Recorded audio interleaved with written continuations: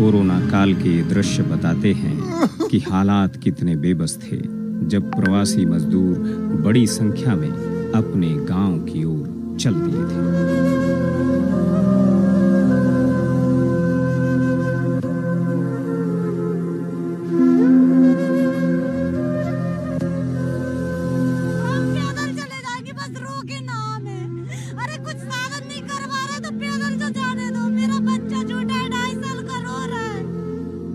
मदद की ऐसी ही गुहार लगभग देश के हर हिस्से में सुनाई दी।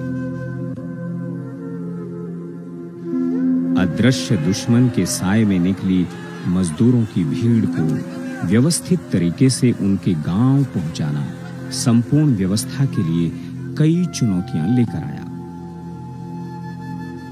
कोरोना की भयावह परिस्थितियों के बीच अपनी जान की परवाह किए बिना देश भर में सेवा भारती और राष्ट्रीय स्वयंसेवक संघ के कार्यकर्ता प्रवासी मजदूरों की मदद के लिए आगे आए।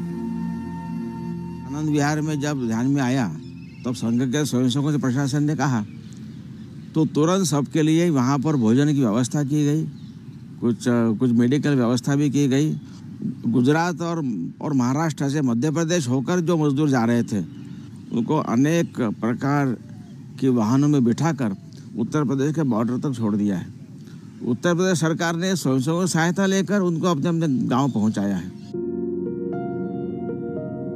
घर पहुँचाने से पहले उनके खान पान रहने का इंतज़ाम, कोरोना से बचने के लिए मास्क, सैनिटाइजर की उपलब्धता करना ज़्यादा अहम था, जिसके लिए सेवा भारती के कार्यकर्ता हर मोर्चे पर नज़र आए। में बहुत से ऐसे लोग हैं जो बहुत दूर से आए हुए हैं उनके पास खाने की व्यवस्था नहीं थी। तो ये काम कर रहे हैं मानवता के हिसाब से बहुत ही अच्छा काम है लोग खा सकेंगे। एक अनजान खतरे के बीच लाखों स्वयंसेवकों ने प्रवासी मजदूरों तक राहत सामग्री पहुँचाने का काम अपने हाथ में लिया। 24 घंटे लंगर चलाए गए। बहुत ही दुख की बात है कि छोटे छोटे बच्चे महिलाएँ बच्चे पुरुष दिहाड़ी मजदूर काम करने वाले वो श्रमिक वर्ग, जिनको नहीं मालूम कि दो दिन, चार दिन, पाँच दिन कितने दिन में अपने घर पहुँचेंगे। पाँच पाँच सात सात घंटे पैदल चलते हुए आ रहे हैं और कुछ लोग तो पाँच पाँच सात सात सौ किलोमीटर के लिए पैदल निकल पड़े हैं। ऐसे लोगों को से भर भोजन उपलब्ध कराना, इस प्रकार का संकल्प लेके सेवा भारती के कार्यकर्ता, राष्ट्रीय स्वयंसेवक संघ के कार्यकर्ता निकल पड़े हैं। मीलों दूर से चले आ रहे मजदूरों के लिए राहत शिविर लगाए। निशुल्क स्वास्थ्य सेवाएँ दी गईं। हेल्पलाइन नंबर भी जारी किया गया। वो खबरों से बेखबर थे, किंतु खबरों में थे।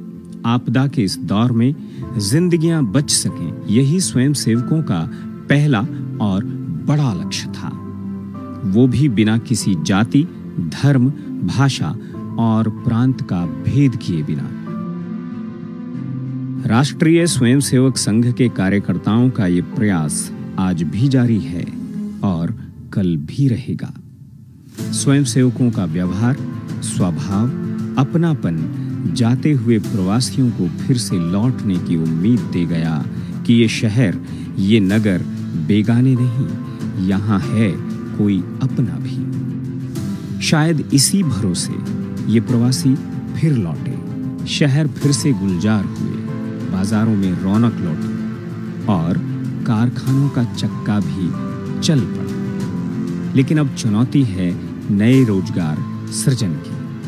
अब लोग जो गए थे वापस आने लगे हैं। रोज़गार अपना बंद करके गए थे अपने अपने गाँव। वापस आने लगे। बहुत अधिक प्रमाण वापस आने वालों का है। लेकिन आने के बाद उनको वहाँ रोज़गार है ही जो पहला था। ऐसा नहीं है।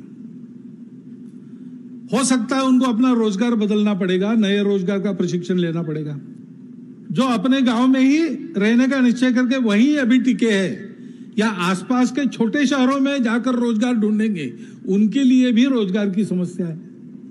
रोज़गार देना, रोज़गार का प्रशिक्षण देना, और रोज़गार का सृजन करना। इस सेवा की आवश्यकता है। कोरोना की मार से बहुत कुछ थम सा गया, लेकिन फिर से चलने का नाम ही जीवन है। हालात कैसे भी क्यों ना हो, हमें रुकना नहीं है, डटे रहना है, गति के लिए, प्रगति के लिए।